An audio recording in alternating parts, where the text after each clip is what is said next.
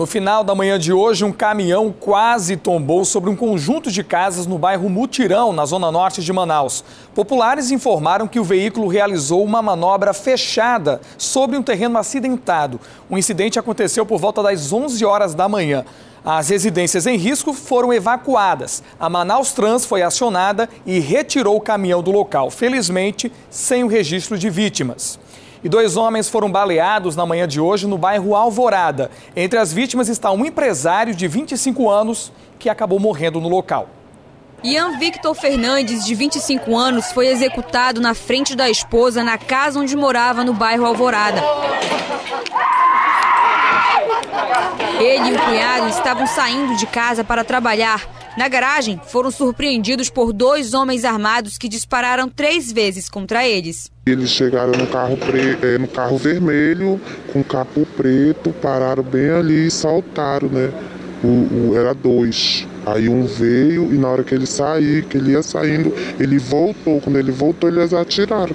Segundo os moradores, o empresário chegou em Manaus no início deste mês. Eles também disseram que o mesmo carro usado no crime estava rondando a rua durante a noite nesta última semana para observar a movimentação da família. Que já tinha esse carro vermelho aqui na frente, né? Se fosse para roubar, tinha roubado meu pai, estava mais disposto, né? Tinha levado o carro dele zerado, né? Mas é, pelo jeito foi outra coisa, né? Execução mesmo. Execução mesmo, né? O cunhado de Ian também foi atingido.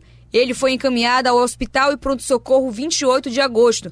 As câmeras de segurança das residências próximas registraram toda a ação dos suspeitos, o que deve ajudar a polícia nas investigações.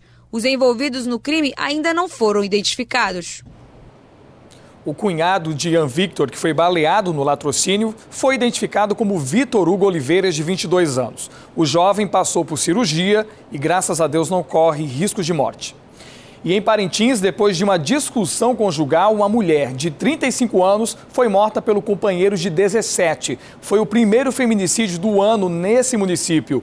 Um outro assassinato registrado nessa região foi, também aconteceu neste final de semana. O crime aconteceu na Rua 9 do bairro da União, na zona sul de Parintins. Eliné Nunes da Silva, 35 anos, morava com suspeito, o menor de 17 anos. Ele foi apreendido ontem mesmo pela delegada da mulher, Alessandra Trigueiro. O menor contou à delegada que agiu em legítima defesa. Tem marcas né, de perfurações no braço esquerdo e nisso ele conseguiu desarmá-la e é, a contragolpe, né, golpeou a, mesma com vários é, golpes de faca, no qual uma no pescoço levou a vítima a óbito. A vítima chegou a ser socorrida, mas já chegou morta no hospital. Este foi o primeiro feminicídio do ano de 2019. No ano passado, a Delegacia da Mulher registrou dois casos de feminicídio. Em Barreirinha, a 331 quilômetros de Manaus, o carpinteiro Gideão Adrião Gaia, 47 anos, retornava de uma festa na madrugada de domingo, quando foi abordado por cinco homens que tentaram lhe assaltar. Ele reagiu e foi morto a golpes de terçado. A polícia prendeu dois suspeitos. O primeiro a ser preso foi Joelson Tavares Mendes, 25 anos. O segundo homem ainda não foi apresentado. Três pessoas estão foragidas, entre essas o menor de 17 anos.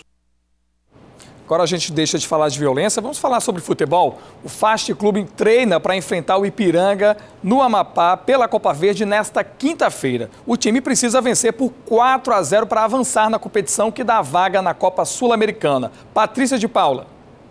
Quinta-feira tem futebol em Manaus é pela Copa Verde. E olha, quem vai jogar na quinta-feira é o FAST, que tem aí um duelo em campo com o Ipiranga, que por um acaso no último jogo perdeu de 3 a 0. Mas eu estou aqui com o Darlan, que é o técnico, está treinando esse time, porque aí tem uma promessa de fazer um jogo bem diferente do que aconteceu no último jogo, né, Darlan? Com certeza, estamos trabalhando para fazer uma grande partida, reverter o resultado, já que não fomos bem em Macapá, mas com certeza o jogo na Arena da Amazônia vai ser totalmente diferente.